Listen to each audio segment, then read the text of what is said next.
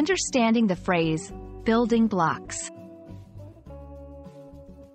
Hello everyone, and welcome to our English language learning series. Today, we're going to explore a very interesting phrase, building blocks. This is a term you might hear often in various contexts, so understanding its meaning is key to improving your English skills. Let's dive in. The phrase, building blocks, refers to fundamental elements or components that form the foundation of something larger or more complex. Originally, it comes from the literal blocks used in construction to build structures. However, in everyday English, it's used metaphorically to talk about the basic elements of almost anything, from concepts and ideas to physical objects. For instance, in education, we often talk about learning the basic skills or foundational knowledge as building blocks of understanding a subject.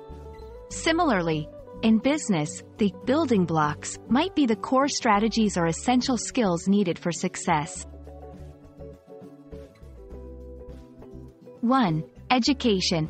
Understanding the alphabet and basic grammar rules are the building blocks of learning a new language. 2. Science.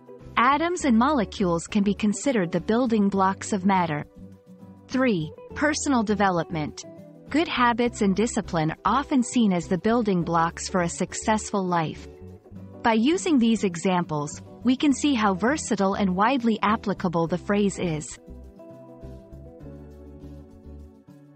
Some might confuse building blocks with being only related to physical construction.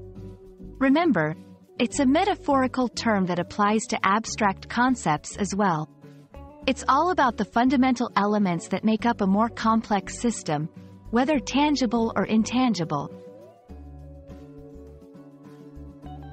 I hope this explanation clarifies the meaning and usage of building blocks in English.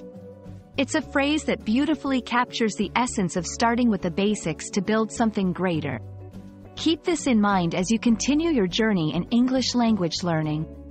Thanks for watching, and see you in our next video.